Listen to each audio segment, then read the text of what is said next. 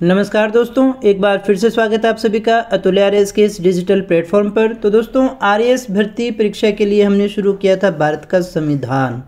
और आज की इस भारतीय संविधान की क्लास में हम बात करने वाले हैं मूल अधिकारों के विषय में।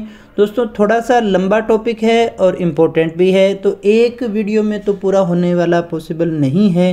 जिसको हमने कुछ एक वीडियोस के अंदर, कुछ एक पार्ट्स के अंदर हमें इसको देखना पड़ेगा। पहले पार्ट में हम देखेंगे मूल अधिकार क्या है कौन कौन से इसके राज्य की परिभाषा है मूल अधिकारों की परिभाषा है कौन सी उसकी विशेषताएँ इन सभी चीज़ों को समझने का प्रयास करेंगे। तो दोस्तों, ये हमारा सिलेबस और इसके अंतर्गत देखिएगा, हमने पहला बिंदु पूरा कर लिया था, संविधान सभा और संविधान का निर्माण हमने कर लिया, भारतीय संविधान की विशेषताएँ हमने कर ली, संवैधानिक संशोधन हमने कर लिया और उद्देश्य का भी हमने पूरा कर लिया था। ये चार टॉपिक अपने कर चुके हैं। इसके अलावा एडिशनल हमने देखिएगा, अनुसूचियों के विषय में भी बात की थी, भारतीय संविधान की अनुसूची और भारतीय संविधान के स्रोत के विषय में भी बात कर ली थी। और बच्चे से सिलेबस अपना चल रहा है और बहुत ही जल्दी हम इसको पूरा भी कर लेंगे। बिल्कुल topic wise point to point हम सिलेबस को करने वाले हैं। तो चलिएगा शुरू करते हैं आज की क्लास को और बात करते हैं मूल अधिकारों के विषय में। तो सबसे पहले हम देखें मूल अधिकारों के लिए संवैधानिक प्रावधान कौन से किए गए हैं, देखिएगा। तो दोस्तों, हमें पता होना चाहिए कि मूल अधिकार जो है हमारे संविधान के कौन से भाग में है? भाग तीन में है। नंबर एक बात, कौन से भाग में है? तीन भाग में है, तीसरे भाग में है, और दूसरी बात, कौन से अनुच्छेदों में है? तो अनुच्छेद 12 से लेकर के अनुच्छेद 35 तक भारतीय संविधान में जब हमें देखेंगे तो मूल अधिकारों का उल्लेख हमें पढ़ने को मिलता है। अगर हमसे ये पूछा जाए कि मूल अधिकारों का ये जो कंसेप्ट है, हमने कहाँ से लिया है तो हमने अमेरिका से लिया है। ये मूल अधिकार का कंसेप्ट हमने कहाँ से लिया है? संयुक्त राज्य अमेरिका से। क्योंकि हमने जब हमारे संविधान का निर्माण किया तो हमने बहुत सारे देशों का संविधान पढ़ा और वो चीज़ें जो हमारे देश के लिए, देश के विकास के लिए, इसकी संप्रभुता के लिए अनिवार्य थी, उन चीज़ों को हमने अडोप्ट भी किया है दोस्तों। उनको हमने लिया भी है यहाँ पर। तो दोस्तों, यहाँ पर देखिएगा, अगर हम देखें कि किससे लिया गया है तो देश का प्रभाव निस्संदेह अमेरिका से ही मान करके चलते हैं। थोड़ा बहुत अंतर है, उसकी भी डिस्कस अपने करने वाले हैं। तो दोस्तों, अगर आपसे पूछा जाए एक लाइन में कि मूल अधिकार हम कहते किसको हैं दोस्तों, दैनिक जीवन में हम बहुत बार इस शब्द का प्रयोग करते हैं, ये हमारा अधिकार है, हमारा अधिकार है। अधिकार का मतलब तो एक ही बात होती है कि हमें मिलना चाहिए। तो यहाँ हम किस मूल अधिकार की बात कर रहे हैं? वैसे मूल अधिकार जो संविधान के द्वारा दिए गए हैं। तो यहाँ हमें ये ध्यान रखने हैं कि मूल अधिकार किसको दिए गए हैं? नंबर एक, नागरिकों को दिए जाते हैं। दूसरी बात, किस लिए दिए जाते हैं ताकि नागरिक क्या कर सके दोस्तों? समक्ष समग्र विकास कर सके। तो देखिएगा, देता कौन है? संविधान देता है। किसके द्वारा दिए गए हैं? संविधान के द्वारा। और संविधान के अंतर्गत इसका क्या किया गया है? संरक्षण भी किया गया है। तो चार बातें हैं। इनको अपने एक लाइन के अंदर भी बांट करके पढ़ सकते हैं। वे अधिकार जो नागरिकों को उनके समग्र विकास के लिए संविधान द्वारा प्रदत्त किए गए हैं, प्रदान किए गए हैं, और न केवल दिए गए हैं, बल्कि उनका संरक्षण भी संविधान के अंतर्गत किया जाता है। तो ऐसे अधिकारों को हम मूल अधिकार कह सकते हैं। तो चार शब्द जिनकी हमने बात की यहाँ पर, एक तो आता है, किसको दिए गए हैं? हमारे देश के नागरिकों को किसने दिए हैं? संविधान ने दिए हैं। क्यों दिए हैं? ताकि नागरिक अपना समग्र जो है विकास कर सके। और अगर इनका हनन क्या होगा तो इनका संरक्षण भी दिया गया है। तो संविधान न केवल नागरिकों को मूल अधिकार देता है उनके समग्र विकास के लिए, बल्कि उनका संरक्षण भी करता है। ऐसे अधिकारों को हम मूल अधिकारों की श्रेणी में रखते हैं। अब हम कहें कि मूल अधिकार हमने क्यों जोड़े? इनका उद्देश्य क्या है? इसलिए ताकि लोकतांत्रिक राजनीतिक व्यवस्था का निर्माण किया जा सके और जो हमारा विधि का शासन है, उसको सुनिश्चित किया जा सके। देखिएगा, हमारे यहाँ जो शासन चलता है भारत में, संविधान का शासन है, विधि का शासन है। जो हमारे संविधान में लिखा है, उसी के अनुसार चलता है दोस्तों। तो इसको देने का उद्देश्य यही है कि जो हमारा विधि, जो हमारे संविधान में बातें लिखी गई हैं, उनका पालन हो सके। एक लोकतांत्रिक राज्य व्यवस्था का निर्माण हो सके, लोकतांत्रिक राजनीतिक व्यवस्था चल सके, जिसमें किसी के अधिकारों का हनन न हो। इसके लिए हमने क्या किया है? मूल अधिकारों को संवैधानिक रूप से प्रदान किया है दोस्तों। मूल अधिकार, व्यक्तिगत स्वतंत्रता और सामाजिक नियंत्रण। हर व्यक्ति की अपने आप की स्वतंत्रता होती है और उनके ऊपर सामाजिक नियंत्रण किया जा सकता है। तो मूल अधिकार क्या करते हैं? हमारी व्यक्तिगत स्वतंत्रता और सामाजिक नियंत्रण में समन्वय स्थापित करने का कार्य करते हैं। जब व्यक्ति मांगते हैं, मेरी स्वतंत्रता है, मैं कुछ भी कर सकता हूँ तो उसको कुछ मूल अधिकार दे दिए गए। और उनके ऊपर हमारे संविधान का जो है नियंत्रण भी है। कुछ एक मामलों में नियंत्रण है तो यह हम कहें कि समाज के ऊपर नियंत्रण है, मूल अधिकारों का संविधान के द्वारा तो इन दोनों के अंतर्गत हम क्या देख करके चलते हैं? एक प्रकार का समन्वय स्थापित करने के प्रयास किया गया है मूल अधिकारों के द्वारा। अब हम देखें कि मूल अधिकारों की विशेषताएँ क्या है, मूल अधिकार कौन से हैं, कौन सी इसकी मुख्य बातें हैं? तो सबसे पहली बात यह है कि ये न्यायालय में वाद योग्य है। क्या है दोस्तों? न्यायालय में वाद योग्य है अब वाद योग्य का मतलब क्या है कि अगर इनका हनन होता है तो आप कोर्ट में जा सकते हैं, आप कोर्ट में अपील कर सकते हैं। यानी न्यायालय में वाद दायर किया जा सकता है जैसे मूल कर्तव्य है, कोई व्यक्ति अगर मूल कर्तव्यों का पालन नहीं करता है तो उसके विरुद्ध कोई कोर्ट केस नहीं बनता है, उसके विरुद्ध न्यायालय में नहीं जा सकते हैं। लेकिन अगर मूल अधिकारों का हनन होता है, रोका जाता है तो उनके विरुद्ध न्यायालय में जाया जा सकता है। इसलिए न्यायालय में वाद योग्य कहते हैं, क्योंकि न्यायालय में इनके विरुद्ध वाद दायर किया जा सकता है। दूसरी बात कि मूल अधिकार हमें कहाँ दिए गए हैं? संविधान में दिए गए हैं। तो मूल अधिकार क्या है? संवैधानिक है। संविधान के अंतर्गत इनका प्रावधान किया गया है। अगली बात दोस्तों मूल अधिकार किसके विरुद्ध प्राप्त होते हैं? तो स्पेशली देखो मूल अधिकार किसके विरुद्ध दिए गए हैं? राज्य के विरुद्ध। कुछ अधिकार हैं, जैसे अस्पृश्यता वाला व्यक्ति के विरुद्ध भी है दोस्तों, लेकिन मूल अधिकार संविधान देता है, किसके विरुद्ध देता है? राज्य के विरुद्ध देता है दोस्तों। और राज्य के विरुद्ध जब देता है तो इसका अर्थ ये है कि राज्य जो है, मूल अधिकारों का अतिक्रमण नहीं कर सकता है। अगर करेगा तो हमने कहा ये वाद योग्य है, न्यायालय में जाया जा सकता है। अब हम कहें, क्या मूल अधिकार असीमित हैं? जब हमने कहा कि हमें कहीं भी घूमने फिरने की स्वतंत्रता है वाक की स्वतंत्रता है, अभिव्यक्ति की स्वतंत्रता है और बहुत सारी स्वतंत्रता है तो क्या वो असीमित है? क्या उन पर कभी प्रतिबंध नहीं लगाया जा सकता? बिल्कुल। ये असीमित नहीं है, ध्यान दीजिएगा, ये असीमित नहीं है। इनके ऊपर उचित या तर्क संगत जो भी प्रतिबंध हैं, वो लगाए जा सकते हैं। कोई ऐसा मूल अधिकार जिसके द्वारा कोई व्यक्ति सामाजिक अस्मिता को और हमारे देश की अखंडता को नुकसान पहुँचा रहा हो तो फिर उसके ऊपर उचित प्रतिबंध लगाए जा सकते हैं। अब हम कहें कि मूल अधिकार स्थायी हैं क्या? स्थायी होने का मतलब क्या है कि इनमें परिवर्तन नहीं किया जा सकता। स्थायी मतलब जो बन गए वो रहेंगे ही रहेंगे। तो ये हमें पता होना चाहिए कि पहले मूल अधिकार सात थे एक हट गया, वर्तमान में छः है, संपत्ति का अधिकार, मूल अधिकार नहीं है। अगर स्थायी होता तो हम हटा नहीं सकते थे। तो ये बात वैसे ही आपके दिमाग में क्लियर होनी चाहिए कि मूल अधिकार जो है वो स्थायी नहीं है। अनुच्छेद तीन सौ अड़सठ, जो कि हमें संविधान संशोधन के बारे में बताता है, पिछली क्लास में हमने देखा था कि तीन सौ अड़सठ के अंतर्गत इसमें संशोधन किया जा सकता है। जब संशोधन हो सकता है कि तो पूर्णतः स्थायी नहीं होंगे दोस्तों। चौवालीसवां संविधान संशोधन हुआ 1978 इसके बाद में देखिएगा, जो दो सिद्धि के विषय में संरक्षण दिया गया था, अनुच्छेद 20 के अंदर और अनुच्छेद 21 के अंदर जीवन जीने का जो अधिकार दिया गया था ये दो ऐसे अधिकार हैं जो आपातकाल के समय भी समाप्त नहीं होते हैं। मोस्ट इम्पोर्टेंट क्वेश्चन हमारा बनता है कौन कौन से 20 और 21 दो अनुच्छेद ऐसे हैं? बाकियों का निलंबन आपातकाल के दौरान या अन्य समय में किया जा सकता है, लेकिन 20 और 21 चूँकि वो जीवन जीने के लिए है, जीवन के अधिकार हैं, इसलिए इनका निलंबन नहीं किया जा सकता है। अब हम देखें मूल अधिकारों का विकास कैसे हुआ। तो अगर आपसे पूछा जाए, हमने जो मूल अधिकार लिए हैं, वो यूएसए से लिए हैं। लेकिन अगर आपसे पूछा जाए, विश्व में अगर मूल अधिकारों की कभी बात होती है, ब्रिटेन में होती है मूल अधिकारों की शुरुआत हम कहाँ से मानते हैं दोस्तों? ब्रिटेन से मानते हैं। यानी वर्ल्ड में कभी अगर मूल अधिकारों का कोई शुरुआत हुआ, कोई कार्य हुआ तो वो सबसे पहले ब्रिटेन में ही हुआ है दोस्तों। ब्रिटेन में कब हुआ? तो देखिएगा, सन आपको याद रखना है 1215 का। 1215 में ब्रिटेन के सम्राट थे किंग जॉन। इन्होंने नागरिकों को कुछ अधिकार देने के लिए मेगना कार्टा कानून पारित किया है। दोस्तों, देखिएगा, ध्यान दीजिएगा, इन्होंने क्या किया है? मेगना कार्टा कानून पारित किया गया तो मैग्ना कार्टा कानून का संबंध किससे है? नागरिकों के अधिकार से है। नागरिकों को अधिकार दिए गए किसने दिए हैं? किंग जॉन ने दिए। कहाँ के हैं? ब्रिटेन के हैं। कब दिए हैं? 1215 में। ये मूल अधिकारों के एक प्रकार से हम शुरुआत मान सकते हैं दोस्तों। इसलिए मूल अधिकारों का जन्मदाता या जननी हम किसको कह सकते हैं? ब्रिटेन को कह सकते हैं, क्योंकि यहाँ से मूल अधिकारों का विचार आता है। लेकिन सत्रह सौ इक्यानवे के अंदर यूएसए ने जब अपना संविधान लिखा तो नागरिकों को संविधान के द्वारा मान्यता प्राप्त मूल अधिकार प्रदान किए।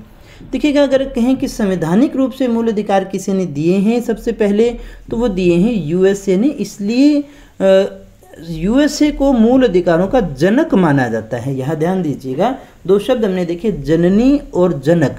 जननी तो है ब्रिटेन और जनक कौन है? जनक है यूएसए आप इस तरह से समझिएगा, कई बार ये हो जाता है कि जब जननी या जनक ये है तो फिर ये क्यों जाए? जननी जनक में फ़र्क आप इस तरह से भी समझ सकते हैं कि किसी संतान के जन्म के लिए माता और पिता दोनों की आवश्यकता होती है।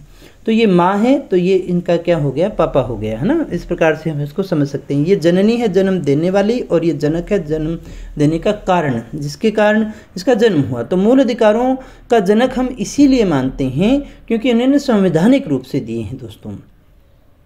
अगर भारत में बात करें, वैसे तो इससे पहले तिलक के द्वारा भी इनसे बातें होती रही थी, इसके द्वारा कुछ काम किए गए थे।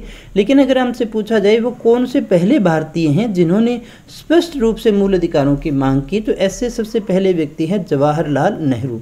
तो नेहरू जी ऐसे प्रथम व्यक्ति हैं या प्रथम भारतीय हैं जिन्होंने स्पष्ट रूप से मूल अधिकारों की मांग की और नए केवल मांग की हैं बल्कि इसके प्रारूप का भी निर्माण किया है दोस्तों। तो स्पष्ट रूप से मूल अधिकारों की मांग भी किसके द्वारा है? नेहरू के द्वारा, और उसके प्रारूप का निर्माण भी है जो सबसे पहले किसके द्वारा किया गया है? नेहरू जी के द्वारा ही किया गया है। और नेहरू जी ने ही मूल अधिकारों को संविधान की अंतरात्मा कहा है। अगर आपसे पूछा जाए कि संविधान की अंतरात्मा मूल अधिकार को किसने कहा है तो जवाहरलाल नेहरू जी ने मूल अधिकारों को संविधान की अंतरात्मा की संज्ञा दी है।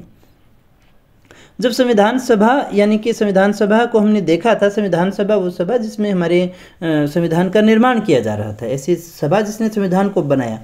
तो संविधान सभा में सरदार पटेल के नेतृत्व में मूल अधिकारों और अल्पसंख्यकों की एक समिति का नेतृत्व किया गया था। के नेतृत्व में गठन किया गया था ना? नेतृत्व में एक समिति का गठन किया गया है। इसको गठन कर लीजिएगा। अल्पसंख्यकों की समिति का गठन किया गया और आचार्य और आचार्य कृपलानी के नेतृत्व में उप समिति बनी। तो देखिएगा, पटेल के नेतृत्व में तो मूल अधिकारों, ये क्वेश्चन कई बार ऑब्जेक्टिव में पूछा गया है ना, मूल अधिकारों की समिति किसके नेतृत्व में गठित की गई थी? तो सरदार पटेल और उप समिति आचार्य कृपलानी के लिए गठित की गई। और इन्हीं की अनुशंसा पर, यानी इस समिति की सिफारिश पर भाग तीन में अनुच्छेद 12 से 15 तक जो है मूल अधिकारों का उल्लेख हमारे संविधान में किया गया है दोस्तों। और अगर आपसे पूछा जाए, फिर वही बात है कि मूल अधिकारों का प्रावधान हमने कौन से देश से लिया है तो हमने यूएसए से अमेरिका से इस प्रावधान को लिया है मेरे प्यारे दोस्तों। हालाँकि अमेरिका जो संविधान है, उसमें वर्णित जो मूल अधिकार हैं, उनके ऊपर किसी प्रकार का कोई प्रतिबंध नहीं है। वो स्वतंत्र हैं, उनके ऊपर किसी प्रकार का कोई प्रतिबंध नहीं लगाया जा सकता है। लेकिन इसलिए हम इनको क्या कहते हैं? निरपेक्ष कहते हैं। यानी ये निरपेक्ष है, इसके साथ में किसी भी प्रकार से इनका हनन नहीं किया जा सकता। ये मिलते ही मिलते हैं। लेकिन भारतीय संविधान में जो वर्णित मौलिक अधिकार हैं, उन पर कई प्रतिबंध हैं। इसीलिए हम मूल अधिकारों को क्या कहते हैं? सापेक्ष अधिकार के रूप में देखते हैं। सापेक्ष है, यानी अन्य बातें यथावत रही तो ही वो मूल अधिकार लागू होंगे। जैसे हमने कहा ना, बीस इक्कीस को छोड़कर बाकी सब पे प्रतिबंध लगाए जा सकते हैं, है ना? कोरोना समय में वैसे तो देखिएगा छुआछूत ही थी वो एक तरह से। तो उसको भी अपराध घोषित कर दिया गया था दोस्तों ना? किसी को हाथ नहीं लगा सकते। और कोई चाहता तो कह देता भी, ये मेरे मूल अधिकार का हनन है। तो यहाँ ध्यान दीजिएगा, ये सापेक्ष है। कोई अन्य परिस्थितियाँ परिवर्तित हो तो उनके ऊपर प्रतिबंध लगाए जा सकते हैं, लेकिन अमेरिका के अंदर नहीं लगाए जा सकते। इसलिए अमेरिका और भारत में मूल अधिकारों का कंसेप्ट हमने वहाँ से तो लिया है, लेकिन हमने भारतीय परिस्थितियों के अनुसार वो जनता के अनुसार हमने उनको, जहाँ अमेरिका में निरपेक्ष रखा गया, हमने उनको क्या कर दिया? सापेक्ष रख दिया दोस्तों। इसीलिए भारतीय संविधान में भाग तीन को मेगना कार्टा और संविधान की आधारशिला कहते हैं। मेघना कार्टा आपको याद होगा, ब्रिटेन में जो मूल अधिकारों के लिए एक अधिकार पत्र जारी किया गया था, जिसे अपने मेघना काटा कहते हैं। मेघना काटा अधिकार पत्र जारी किया गया था। वो मूल अधिकारों से संबंधित था, इसलिए हम भारतीय संविधान का मेघना काटा भी भाग तीन को कहते हैं। अब थोड़ा सा देख लें कि मूल अधिकार और कानूनी अधिकार, थोड़ा संशय रह जाता है कि मूल अधिकार हैं और कानूनी अधिकार में क्या अंतर है। तो ध्यान दीजिएगा, मूल अधिकार नागरिकों को प्राप्त होते हैं और राज्य के विरुद्ध प्राप्त होते हैं। नंबर एक बात, कानूनी अधिकार व्यक्ति के विरुद्ध प्राप्त होते हैं, किसी संस्था के विरुद्ध प्राप्त होते हैं, राज्य के विरुद्ध नहीं होते हैं। मूल अधिकारों में अगर परिवर्तन करना है तो हमें संविधान में संशोधन करना पड़ेगा। अनुच्छेद तीन सौ अड़सठ के अंतर्गत हमें क्या करना पड़ेगा? मूल अधिकारों में संशोधन के लिए संविधान में संशोधन करना पड़ेगा, लेकिन कानूनी अधिकार एक साधारण विधि बनाकर भी परिवर्तित की जा सकती हैं। तीसरी बात कि मूल अधिकारों का अगर कोई हनन होता है, अतिक्रमण होता है तो सीधे आप उच्च न्यायालय, उच्चतम न्यायालय में दावा कर सकते हैं। लेकिन अगर किसी कानूनी अधिकार का हनन होता है, कोई आपकी संपत्ति छीन ले गई या कुछ ऐसा होता है तो आप, वो एक कानूनी अधिकार है ना? जैसे अभी संपत्ति का अधिकार कानूनी अधिकार है, संपत्ति के अधिकार का हनन होता है, किसी संपत्ति पर आपसे कब्जा कर लिया गया तो आप पहले निचली अदालत, फिर ऊपर फिर ऊपर फिर ऊपर इस तरह से जाएँगे, सीधे हम उच्चतम न्यायालय में इसमें नहीं जा सकते हैं कानूनी अधिकार के अंतर्गत, लेकिन मूल अधिकार का हनन होने पर सीधे हम उच्चतम न्यायालय में दावा करते हैं दोस्तों। मूल अधिकारों का उल्लेख संविधान के भाग तीन में किया गया है। किसमें है? मूल अधिकारों का उल्लेख भाग तीन में है, लेकिन भाग तीन के अलावा जो भी अधिकार हैं, वो सारे के सारे कौन से हैं? वो कानूनी अधिकार हैं। ये संसद विधि बना करके करती है। मूल अधिकारों को केवल आपातकाल में ही निलंबित किया जा सकता है, अन्यथा तो हम नहीं कर सकते, हैं ना?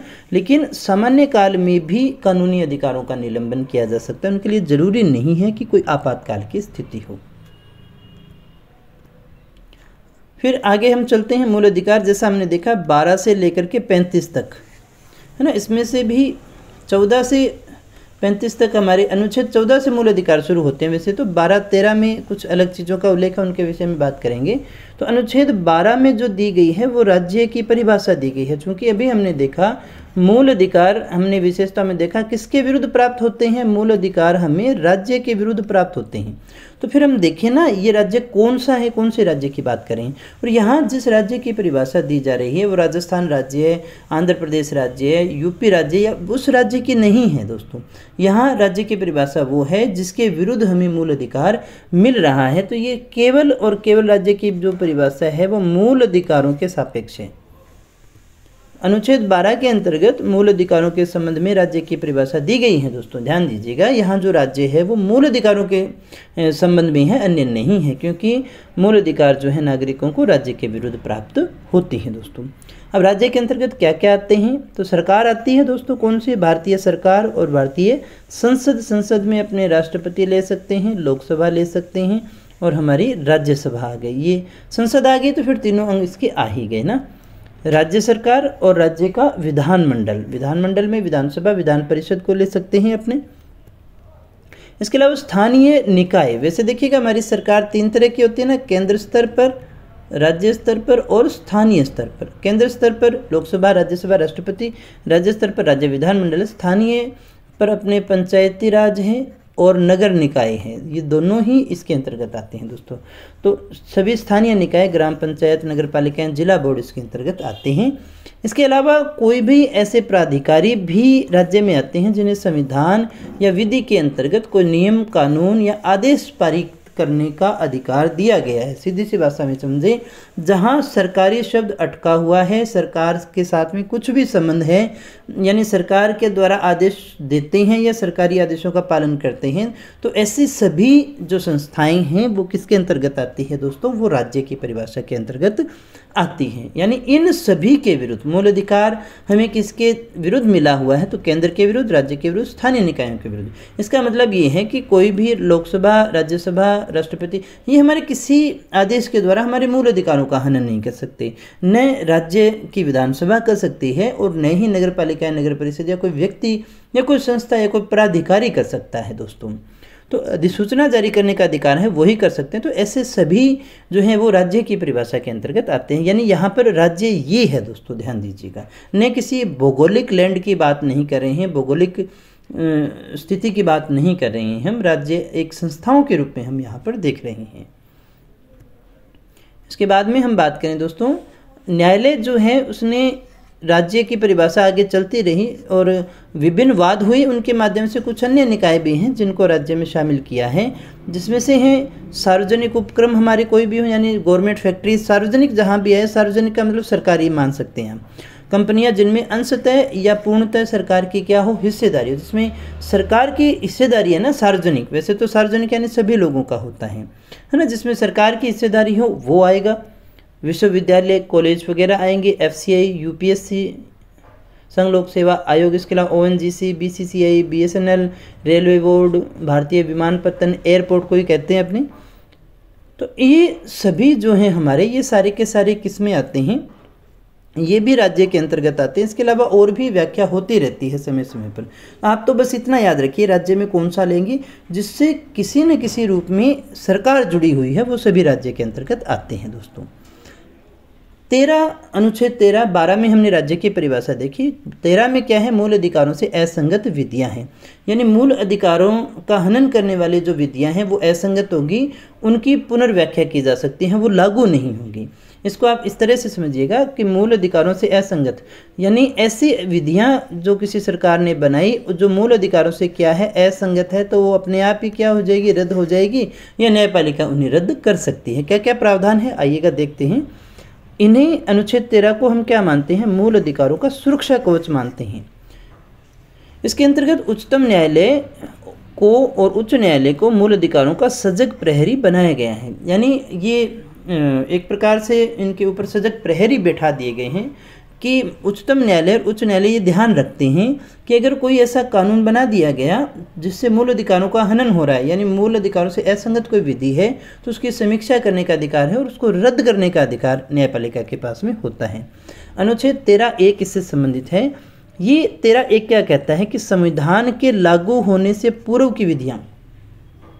तेरह एक में क्या दिया गया है? संविधान के लागू होने से पहले की जो भी विधियाँ हैं ऐसी विधियाँ मूल अधिकारों से असंगत होने पर संविधान लागू होने की तिथि से क्या हो जाएगी? शून्य हो जाएगी। जैसे मान लीजिएगा 26 जनवरी 1950 को हमारा संविधान लागू हुआ। उससे पहले कोई कानून बना हुआ है। उससे पहले का कोई नियम है। देखिएगा, विधि के अंतर्गत हमारी जो रूढ़ी परंपरा है, ये सारी आती हैं दोस्तों, है ना? तो इसके लागू होने से पहले का कोई कानून है और वो कानून जो है हमारा मूल अधिकार से असंगत है तो ये कानून क्या हो जाएगा? रद्द हो जाएगा। इसके बाद में ही हो पाएगा ना? इसके बाद में वो काम नहीं करेगा। यानी मूल ऐसे अधिकार जो संविधान लागू होने की तिथि से शून्य हो जाएँगे, जो क्या है मूल अधिकारों से असंगत। है नंबर एक बात। यहाँ आप ऐसे समझ सकते हैं, संविधान पूर्व की ऐसी विधियाँ जो असंगत है, संविधान लागू होने के बाद के मामलों में शून्य होगी, लेकिन ऐसी विधियाँ संविधान लागू होने से पूर्व के मामलों में बनी रहेगी। फिर से थोड़ा सा समझा देता हूँ, ये एक बॉर्डर लाइन है और ये बॉर्डर लाइन है कौन सी? 26 जनवरी 1950 की। अब बहुत सारे कानून, बहुत सारे नियम ऐसे हैं जो आज भी हमारे यहाँ पर लागू है और पहले भी लागू थे। तो इस प्रकार का कोई भी कानून है जो यहाँ से यहाँ पर शिफ्ट हो गया है है ना? जो जो मूल अधिकार से क्या है? असंगत है। मूल अधिकार से असंगत है। तो 26 जनवरी 1950 के बाद में ये कानून काम नहीं करेगा। लेकिन 26 जनवरी से पहले का कोई मामला है तो वहाँ पर ये पूर्व की तरह बना रहेगा। 26 जनवरी 1950 यानी संविधान लागू होने से पहले के मामलों में तो चाहे वो असंगत है मूल अधिकारों से तो जब हमारा संविधान ही नहीं था ना, हमने तो संविधान के द्वारा उसको रोकने की कोशिश की है ना मूल अधिकारों के हनन को। तो उससे पहले है तो पहले का तो मामलों में बनी रहेगी, लेकिन संविधान लागू होने के बाद के मामलों में ये हमारे लागू नहीं होती है दोस्तों। अनुच्छेद तेरह दो को देखें, राज्य कोई भी ऐसी विधि का निर्माण नहीं कर सकेगा जो मूल अधिकारों को न्यून या कम करती है। यानी राज्य कोई भी ऐसा कानून नहीं बनाएगा जो मूल अधिकारों को कम करता हो या समाप्त करता हो। और ऐसी विधियाँ उल्लंघन की सीमा तक, जहाँ तक उसका उल्लंघन होता है, तब तक ये शून्य ही मानी जाएँगी। यानी ये कहना चाहता है कि जब कोई राज्य कोई ऐसी विधि बनाता है जो मूल अधिकार को कम कर रही है तो वो विधि उस उल्लंघन की सीमा तक ही क्या हो जाएगी? शून्य हो जाएगी, बाकी बनी रहेगी। जहाँ हम देखें अनुच्छेद तेरह का संबंध हमने देखा, संविधान से पहले की विधियों का है वहीं तेरह दो का संबंध संविधान होने के, लागू होने के बाद की विधियों से। देखो, हमने कहा, तेरह एक तो किससे है? लागू होने से पूर्व की विधियों से है, लेकिन तेरह दो जो हैं, वो संविधान लागू होने के बाद की विधियों का। अगर शून्य करती है तो ऐसी विधियाँ शून्य हो जाएँगी दोस्तों। इसमें न्यायालयों को यह अधिकार दिया गया है कि वह राज्य द्वारा निर्मित किसी भी ऐसी विधि का, जो मूल अधिकारों से असंगतों से अवैध घोषित कर सकती है। तेरह दो जो है, वो राज्यों को ये अधिकार देता है कि कोई विधि ऐसी, राज्य ने ऐसी बनाई है, जो मूल अधिकारों से असंगत है तो वो इसे चाहे तो अवैध घोषित कर दे दोस्तों। तो एक प्रकार से हम देखें तो तेरह दो जो है वो न्यायिक पुनरावलोकन को लेकर के आता है। न्यायिक पुनरावलोकन क्या है? न्यायिक पुनरावलोकन यही है कि अगर कोई राज्य ऐसा कानून बना रहा है जो मूल अधिकारों से असंगत है तो उसको रद्द किया जा सकता है और ऐसी पावर न्यायपालिका के पास में। तो इसे न्यायिक पुनरावलोकन के नाम से ही जानते हैं। ये न्यायालय की एक शक्ति है दोस्तों। इसमें से संबंध में दो तीन सिद्धांत निकल करके आते हैं। उनकी हम बात करते हैं। पहला आता है पृथककरणीयता का सिद्धांत। ये क्या कहता है दोस्तों? जैसे मान लीजिएगा, ये हमारा कानून है। कोई हमने एक नया कानून बनाया, इसमें इतने प्रकार के लाइनें या अनुच्छेद हैं। यदि कोई विधि का कोई भाग मूल अधिकारों से असंगत है तो न्यायालय केवल उसी भाग को अवैध घोषित करेगा, न कि संपूर्ण विधि को। मान लीजिए, एक, दो, तीन, चार, पाँच, बहुत सारे इसमें सब क्लोज हैं। तो अगर दो और तीन ये दो ही ऐसे हैं जो मूल अधिकारों का हनन कर रहे हैं। तो केवल इन दो और तीन को ही न्यायालय क्या करेगा? अवैध घोषित कर देगा। बाकी एक, चार और पाँच जो हैं, इसकी धाराएँ बनी रहेंगी दोस्तों। ये पृथक पृथककरणीयता का कहता है। इसको आप इस तरह से समझिएगा। मान लीजिएगा, आपके पास में एक एप्पल की टोकरी है है ना? उस एप्पल की टोकरी में दो सेब खराब हो गए। तो आप क्या उन दो सेबों को ही बाहर निकालना चाहोगे या पूरी टोकरी को फेंक दोगे? तो क्या करेंगे दोस्तों? सिंपल सी बात है, इन दो सेवों को हम बाहर निकाल देंगे, बाकी सेवों को काम में ले लेंगे। तो यही, ये भी कहना चाहता है कि जो मूल अधिकारों का हनन कर रहा है, उनको बाहर निकाल दो, बाकी सारी विधि वैसी की वैसी पड़ी रहेगी दोस्तों। न्यायालय द्वारा विधि का केवल वह हिस्सा ही निरस्त किया जाता है जो मूल अधिकारों से असंगत हो शेष विधि अस्तित्व में बनी रहती है। बिल्कुल एप्पल की टोकरी की तरह ही खराब एप्पल को निकालना है। बाकी टोकरी हमारी वैसी की वैसी ही रहेगी, वो कानून वैसे का वैसे ही रहेगा, इसे हम पृथकरणीयता के सिद्धांत के नाम से जानते हैं। फिर हमने कहा, न्यायिक पुनरावलोकन अभी अच्छे से समझ गए होंगे, बहुत बार इसके विषय में बात हो चुकी है। इसका अभिप्राय ये है कि व्यवस्थापिका कोई भी ऐसा कानून बनाए या कार्यपालिका ऐसा कानून बनाए, कार्यपालिका ऐसा आदेश दे जो संविधान का उल्लंघन करता है तो न्यायपालिका उन्हें निरस्त कर सकती है।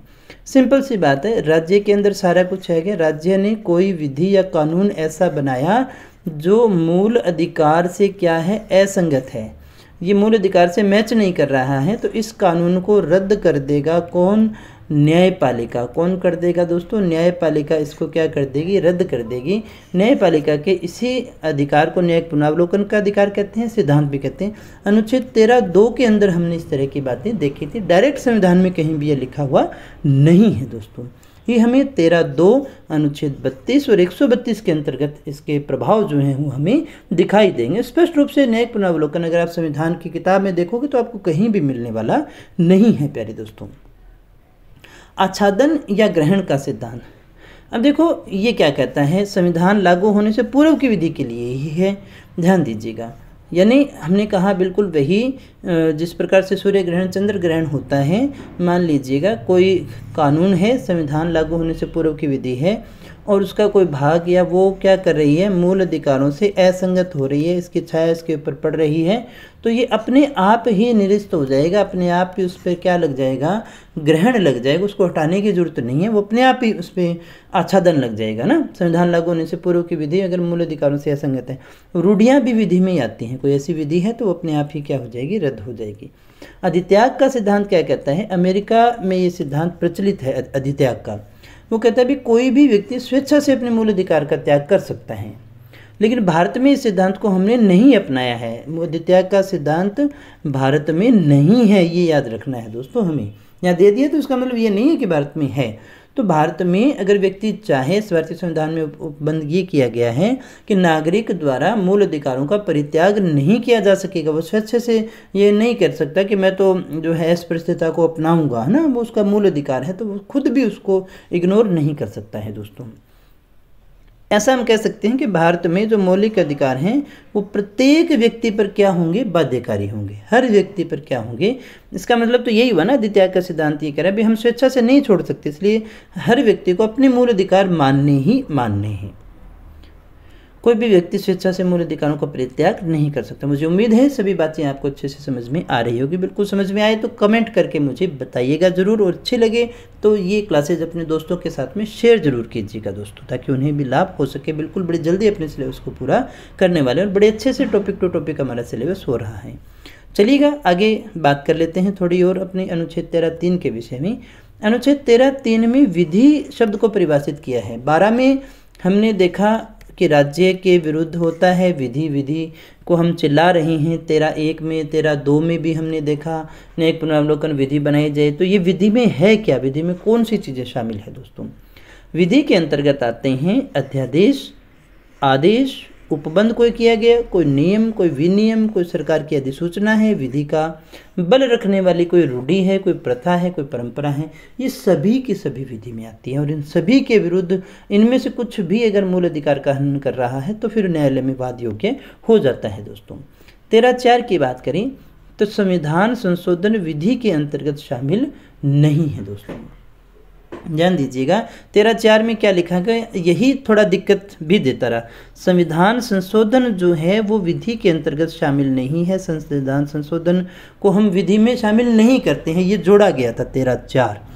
है ना? तेरह चार क्या कह रहा है? ये जो विधि शब्द मान रहे हैं ना, इस विधि के अंदर संविधान संशोधन यानी तीन सौ अड़सठ वाला तीन सौ अड़सठ के द्वारा हम कोई उपबंध करके नई विधि बना देते हैं ना, ये हमने देखा। ध्यान दीजिएगा इस बात पर बहुत इंपॉर्टेंट बात है। संविधान संशोधन विधि जो है, वो विधि के अंतर्गत नहीं आता है। संविधान संशोधन करके हमने कुछ विधि बनाई तो वो विधि इस विधि के अंतर्गत नहीं आएगी, जो मूल अधिकार वाला मानते हैं।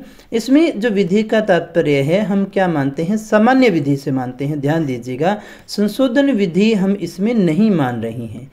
हम इसमें संशोधन विधि को नहीं माने, यही आगे जाकर के देखिए विवाद का कारण बनेगा और बहुत सारे वाद होते हैं। क्योंकि अब इसका मतलब ये हुआ कि संविधान संशोधन के द्वारा इसमें परिवर्तन किया जा सकता है है ना? क्योंकि हमने कहा विधि के द्वारा, देखिएगा, हमने कहा हमारे पास में कानून है, हमारे पास में मूल अधिकार है, इनको राज्य विधि बना करके प्रतिबंध नहीं लगा सकती। लेकिन हमने ये कहा कि संविधान में संशोधन जो है, वो इस विधि शब्द में नहीं आता है। तो उसका मतलब संशोधन करके तो हम क्या कर सकते हैं? इसके ऊपर मूल अधिकारों पर प्रतिबंध लगा सकते हैं। यहाँ पर ये बात हमें थोड़ी सी समझ में आनी चाहिए। और इसी कारण से चौदहवा संविधान संशोधन इकहत्तर के द्वारा हमने ये सारी चीज़ें इसमें जोड़ी थी और फिर आगे संशोधन की जो है परंपरा चल पड़ती है। अनुच्छेद तीन सौ अड़सठ जो है वो हमें संशोधन की शक्ति प्रदान करता है, संसद को संशोधन की शक्ति प्रदान करता है। तेरह दो में, ध्यान दीजिएगा, तेरह दो में ये प्रावधान है कि राज्य द्वारा किसी भी ऐसी विधि का निर्माण नहीं किया जाएगा जो मूल अधिकारों के प्रभाव को कम करे। ध्यान दीजिएगा, कोई ऐसी विधि नहीं बनाएगा राज्य जो मूल अधिकारों को कम करे। अब पहला संविधान संशोधन हुआ उन्नीस सौ इक्यावन में, और इसमें नवी अनुसूची को जोड़ा गया। ये हम पहले डिस्कस कर चुके हैं, और अनुच्छेद इकतीस कै को और ख को भी जोड़ा गया। नवी अनुसूची में हमने शामिल किया था भूमि सुधार कानूनों को, और साथ ही इकतीस कै के द्वारा हमने ये प्रावधान किया कि भूमि सुधार और सामाजिक भूमि सुधार और सामाजिक न्याय स्थापित करने के लिए राज्य द्वारा निर्मित किसी व्यक्ति को इस आधार पर न्यायालय में प्रसन्नगत नहीं किया जा सकेगा कि वह चौदह, उन्नीस इकतीस का उल्लंघन करती है। ध्यान दीजिएगा, इकतीस में हमने भूमि सुधार और सामाजिक न्याय को स्थापित करने का प्रयास किया और हमने कहा कि ये जो विधि है ना, इस विधि के अंतर्गत न्यायालय में अनुच्छेद तेरह, समानता का और आदि उल्लंघन, जो संपत्ति का अधिकार है, आदि का क्या कर रही है? उल्लंघन कर रही है, इसको अपने प्रसंगत नहीं कर सकती हैं। अर्थात हम कहें कि ये जो हमने भूमि सुधार और सामाजिक न्याय कानून बनाए हैं, ये वरीयता देते हैं चौदह, उन्नीस और इकतीस पर भी। यानी मूल अधिकारों पर वरीयता इसकी आ गई। और ये हमने देखा था कि मूल अधिकारों पर तो वरीयता किसी की आ नहीं सकती, मूल अधिकार को प्रभावित करने वाली, कम करने वाली कोई विधि बनाई नहीं जा सकती, लेकिन ये कानून तो उन्नीस सौ इक्यावन के द्वारा संशोधन करके जोड़ दिए गए। ख इकतीस ख में ये कहा भी नवी अनुसूची में शामिल किसी विषय को न्यायालय में प्रसंगत नहीं किया जा सकता। अब हमने कहा, इकतीस क के द्वारा भूमि सुधार और सामाजिक न्याय के कानून बनाए, और हमने कहा, ये मूल अधिकारों पर वरीयता प्रधान भी रहेंगे, और हमने कहा, इन कानूनों को हम नवी अनुसूची में वो डाल देंगे, और हमने नियम बना दिया कि नवी अनुसूची में जो भी विषय हम डाल देंगे तो उसके ऊपर न्यायालय में जो है समीक्षा नहीं की जा सकती। ये प्रावधान प्रथम के द्वारा हुए। संसद ने भूमि सुधार कानून बनाकर उन्हें न्यायिक समीक्षा से बचाना चाहा और इसीलिए जो है नवी अनुसूची में डाल दिया। अब कहें कि भूमि सुधार जो कानून थे, वो कहीं ना कहीं संपत्ति के अधिकार, समानता के कुछ अधिकारों का उल्लंघन कर रहे थे। और संविधान जो है, ऐसी कोई विधि बना नहीं सकता कि उल्लंघन कर सके। तो इसलिए भूमि सुधार कानून बनाए और उन्हें न्यायिक समीक्षा से बचाने के लिए नवी अनुसूची में डाल दिया और ये प्रावधान किया गया कि नवी अनुसूची में जिसको डाल देंगे, उसके ऊपर कोई न्यायिक समीक्षा नहीं हो सकेगी। अब इसमें केस हुआ पहला शंकरी प्रसाद बनाम भारत संघवाद। इसने प्रथम संविधान संशोधन अधिनियम उन्नीस सौ इक्यावन को मूल अधिकारों के अतिक्रमण के आधार पर न्यायालय में चुनौती दी। उन्होंने कहा कि आपने जो कानून बनाए हैं, पहला जो संविधान संशोधन अधिनियम है, वो मूल अधिकारों का अतिक्रमण कर रहा है, ऐसा कहते हुए सुप्रीम कोर्ट में चुनौती दी। अपीलार्थियों ने जो तर्क दिया वो ये था कि जब हम तेरह दो की बात करते हैं तेरह दो में जब हम बात करते हैं कि विधि बना करके मूल अधिकारों का हनन नहीं कर सकती, मूल अधिकारों का हनन नहीं कर सकती, और सरकार ने संशोधन करके इसमें कर दिया है मूल अधिकारों का हनन। तो फिर ये कैसे हो गया? है ना? तो जब ये कहा, और इनका तर्क था, ये जो विधि है, इसमें संविधान संशोधन विधि भी शामिल है। संविधान संशोधन विधि भी शामिल है दोस्तों, इसलिए मूल अधिकारों में तीन सौ अड़सठ के द्वारा भी जो है, संशोधन नहीं किया जा सकता है। ये था शंकरी प्रसाद बनाम में। अगर बात समझ में नहीं आएगी तो एक बार इसको दोबारा सुनिएगा दोस्तों, आराम से आ जाएगा। लेकिन उच्च न्यायालय ने, उच्चतम न्यायालय ने क्या किया? इस तर्क को अस्वीकार कर दिया और उन्होंने कहा कि तेरह दो के अंतर्गत विधि शब्द जो है ना सारा चक्कर मैंने पहले भी कहा था ना तेरह चार वाला आता है। विधि शब्द। विधि शब्द के अंदर केवल सामान्य विधि शामिल है। ये विधि में केवल सामान्य विधि शामिल है। संशोधन विधि को हम विधि मानते ही नहीं है। जब संविधान संशोधन विधि ही नहीं है और विधि के द्वारा प्रतिबंध नहीं लगाया जा सकता तो संशोधन विधि के द्वारा परिवर्तन किया जा सकता। है एक प्रकार से ये छूट दी, दी गई। उच्चतम न्यायालय द्वारा निर्णय दे दिया गया कि तीन सौ अड़सठ के अंतर्गत संसद अपनी संशोधन शक्तियों के माध्यम से मूल अधिकारों में परिवर्तन कर सकते हैं। मुझे उम्मीद है ये बात थोड़ी थोड़ी आपके दिमाग में आ गई होगी कि विधि के द्वारा परिवर्तन नहीं किया जा सकता मूल अधिकारों के अंतर्गत, लेकिन सरकार ने कर दिया। संशोधन के द्वारा अब प्रश्न यही था, कैसे कर दिया?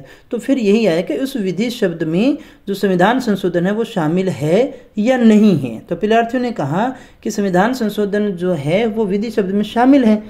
ठीक है लेकिन कोर्ट ने क्या कहा कि विधि शब्द में सामान्य विधि शामिल है, संशोधन विधि शामिल नहीं है, इसलिए संशोधन के द्वारा परिवर्तन किया जा सकता है दोस्तों। और सर्वोच्च न्यायालय ने निर्णय दिया कि मूल अधिकारों में संशोधन किया जा सकता है, इसलिए प्रथम संविधान संशोधन को क्या मान लिया गया दोस्तों? वेद मान लिया गया। फिर दूसरा केस हुआ, सज्जन सिंह बनाम राजस्थान राज्यवाद उन्नीस सौ पैंसठ का, इसने उच्चतम न्यायालय द्वारा अपने पूर्व में दिए गए निर्णय को ही मान्यता दी।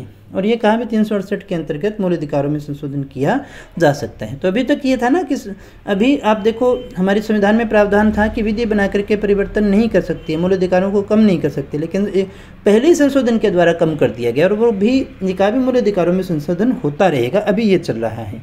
धीरे धीरे इसमें सुधार होगा। गोलकनाथ बनाम पंजाब राज्यवाद आता है सिक्सटी सेवन का। अब इसमें उच्चतम न्यायालय ने अपने पूर्व में दिए गए निर्णय को बदल दिया। किसमें? गोलकनाथ में। और इसने ये कहा कि तेरह दो में जो विधि शब्द है ना, उस विधि शब्द में साधारण विधि के साथ साथ संशोधन विधि भी शामिल है। अब जब शामिल है तो फिर मूल अधिकारों में परिवर्तन नहीं किया जा सकता। समझ रहे हैं इस बात को? सिर्फ़ इतना ही है तेरह दो में ये जो विधि शब्द है, सारा चक्कर इसी का है कि इसमें संशोधन विधि जो है, वो शामिल है या नहीं।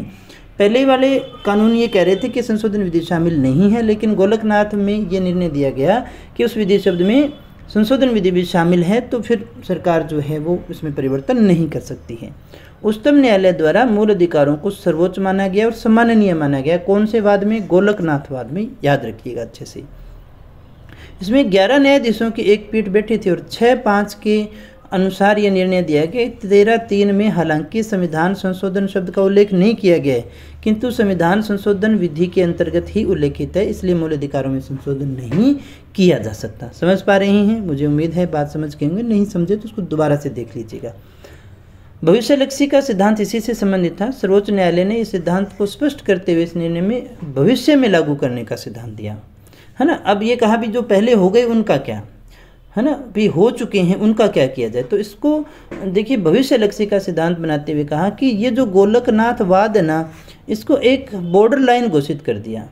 है ना? कि इसने कहा कि इससे पहले तक जो संशोधन हो चुके हैं, वो तो मान्य रहेंगे, लेकिन बाद में हम नहीं कर सकते। ये, देखिए, भविष्य लक्ष्य यानी भविष्य में परिवर्तन नहीं कर सकते। ये जो नियम है, वो भविष्य के लिए लागू रहेगा। यानी इस निर्णय का प्रभाव इस निर्णय के बाद में ही रहेगा। पहले जो परिवर्तन हो गए, वो हो गए। मूल अधिकारों में संशोधन आगे नहीं किया जाएगा, लेकिन पूर्ववर्ती संशोधन है, उनको रद्द भी नहीं करने हैं, वो ज़रूरी थे, वो हो गए। न्यायालय के अनुसार मूल अधिकारों में संशोधन के लिए संविधान सभा जैसी ही संस्था का गठन किया जाना चाहिए। मूल अधिकार कोई छोटी चीज़ नहीं है, इसलिए न्यायालय ने कहा, जब आपको परिवर्तन करना हो तो संविधान सभा ने जिस तरह से संविधान का निर्माण किया था, एक वैसी ही सभा का गठन किया जाना चाहिए दोस्तों। चौबीसवां संविधान संशोधन अधिनियम उन्नीस सौ इकहत्तर, ये हमने देखा था उस समय कि तेरह चार जोड़ा गया। तेरह चार जोड़ा गया और तेरह चार से ये प्रधान, प्रावधान किया गया कि जो तेरह के अंदर जो विधि शब्द है, उसमें संशोधन विधि जो है वो शामिल नहीं है। क्या समझे हम कि मूल अधिकारों के अंतर्गत तेरह चार में जिस तेरह के अंदर तेरह दो में जिस विधि शब्द का प्रयोग किया गया है, उस विधि के अंदर संशोधन विधि शामिल नहीं होगी। और अगर शामिल नहीं है तो इसका मतलब हम समझ सकते हैं कि तीन सौ अड़सठ जो है वो तेरह के दायरे में नहीं आता है, इसलिए तीन सौ अड़सठ द्वारा कुछ भी किया जाएगा, उसका न्यायिक पुनरावलोकन नहीं होगा। मतलब संविधान में संशोधन किया जा सकता है।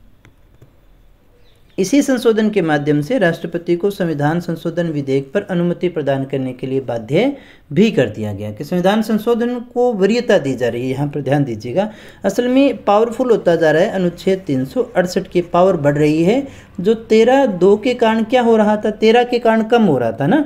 तेरह दो क्या कह रहा था कि विधि शब्द में ये शामिल है, इसलिए आप संशोधन नहीं कर सकते। अब इसका दायरा बढ़ाया जा रहा है तीन सौ अड़सठ का कि अब तो इस पर राष्ट्र संशोधन विधेयक आएगा तो राष्ट्रपति को भी इस पर क्या करना होगा? अनुमति देनी होगी दोस्तों। लास्ट हमारा आता है केशवानंद भारती बात सबसे मोस्ट इंपॉर्टेंट है। इसको अपने मिनी संविधान भी कहते हैं। चौबीसवें संविधान संशोधन को इसको मान्यता दे दी गई।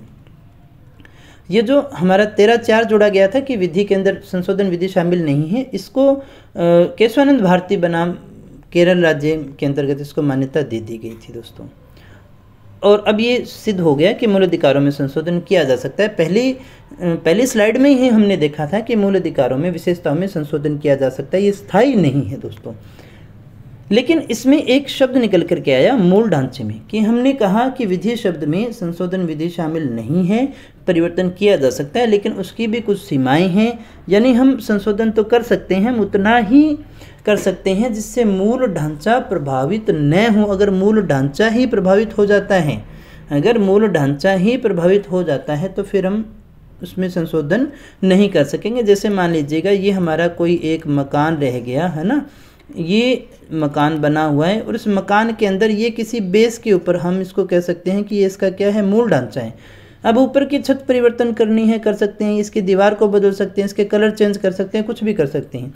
लेकिन हम चाहते हैं भी ऊपर वाला तो रहे और इस मूल ढांचे को बदल दें, नीचे वाले बेस को बदल दें तो फिर ऊपर वाला टिकेगा क्या? नहीं।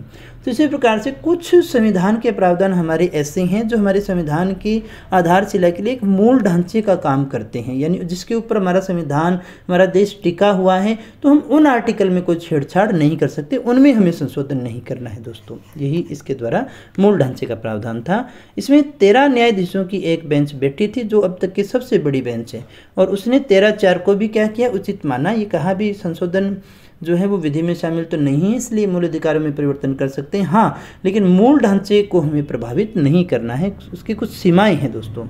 इस वाद के अंदर मूल ढांचे को परिभाषित नहीं किया गया। अब इसमें क्या है? ये सिद्धांत तो दे दिया मूल ढांचे का, लेकिन मूल ढांचा क्या है इसको परिभाषित नहीं किया गया। ये सर्वोच्च न्यायालय समय समय पर जो डिसीज़न देता रहा विभिन्न मामलों के अंदर, उसके अंतर्गत इस मूल ढांचे को स्पष्ट किया जाएगा, ऐसा कहा गया था। तो बयालीसवां संविधान संशोधन उन्नीस सौ छिहत्तर आया। तीन सौ अड़सठ के अंतर्गत चार और पाँच जोड़ा गया। अनुच्छेद तीन सौ अड़सठ में चार और पाँच जोड़ा गया। इसमें संसद ने अपनी संशोधन शक्ति को असीमित कर लिया और ये निर्धारित कर दिया कि संशोधनों की न्यायिक समीक्षा नहीं की जा सकेगी। छिहत्तर, बयालीसवां संविधान संशोधन, ध्यान दीजिएगा ये भी एक पावरफुल था। इसमें तीन सौ अड़सठ, चार और पाँच जोड़े गए। इसमें संसद ने अपनी फिर से संशोधन शक्ति को और बढ़ा लिया और उसने कहा कि संसद के द्वारा जो भी संशोधन किए जाएँगे ना, उसमें कोई न्यायिक समीक्षा नहीं हो सकेगी। इस संशोधन के द्वारा संसद ने अपने आप को सर्वोच्च बनाने का प्रयास किया था इस कानून के माध्यम से, इस संशोधन के माध्यम से।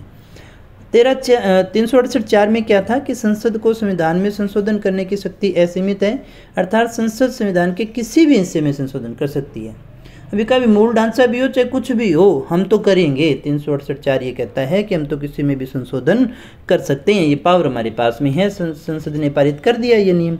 तीन सौ अड़सठ पाँच में प्रावधान किया गया कि संविधान संशोधन को न्यायालय में चुनौती भी नहीं दी जा सकेगी। तो एक प्रकार से संसद की पावर को क्या कर दिया गया? बढ़ा लिया गया। फिर चौवालीसवां संविधान संशोधन अधिनियम आया। इसके द्वारा सुधार हुआ और इसमें सबसे पहले तो ये किया गया कि संपत्ति के अधिकार को मूल अधिकारों से हटा दिया गया। तो अब संपत्ति का अधिकार मूल अधिकार नहीं है, इसलिए छः ही है।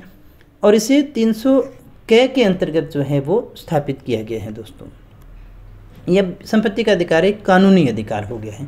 ध्यान दीजिएगा, संपत्ति का अधिकार अब क्या है? कानूनी अधिकार है। हम इसके विषय में आगे भी पढ़ेंगे। मिनरवा मिल्सवाद उन्नीस का। इसमें सर्वोच्च न्यायालय ने तर्क दिया कि तीन सौ अड़सठ और तिरसठ और पाँच संविधान का उल्लंघन करते हैं, इसलिए इन्हें निरस्त किया जाता है। सर्वोच्च न्यायालय तो सर्वोच्च न्यायालय है। तेरह अनुच्छेद तेरह जो है इसको पावर देता है तेरह दो की, वो तो संसद कोई ऐसा कानून बनाएगी जो मूल अधिकारों का या ढांचे का उल्लंघन करती है तो सर्वोच्च न्यायालय उसको रद्द कर सकती है। मिनरवा मिल्सवाद में यही हुआ, तीन सौ अड़सठ चार और पाँच, जिसके द्वारा बेहतरवें के द्वारा सरकार ने अपनी सीमित जो संशोधन की शक्तियों को सीमित कर लिया था, उनको कैंसिल कर दिया दोस्तों।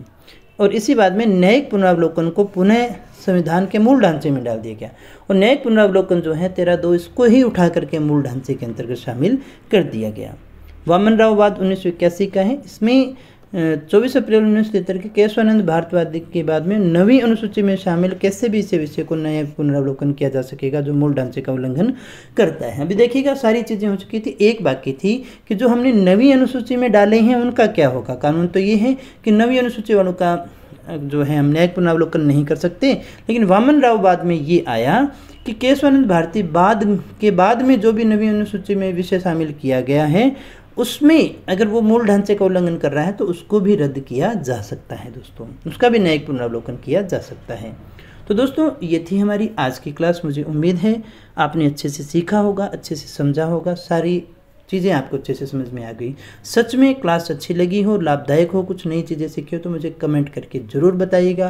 वीडियो को लाइक कर दीजिएगा दोस्तों। लाइक से वैसे तो कुछ मिलता नहीं है, लेकिन यूट्यूब थोड़ा प्रमोट ज़रूर करता है कि जो आपको पढ़ा रहा है, मास्टर, वो ठीक ठाक है, वो कुछ ना कुछ समझा लेता है है ना? तो वो थोड़ा सा अच्छा रहता है। मिलते हैं। नेक्स्ट वीडियो में बने रहें हमारे साथ। इसी तरह से धन्यवाद।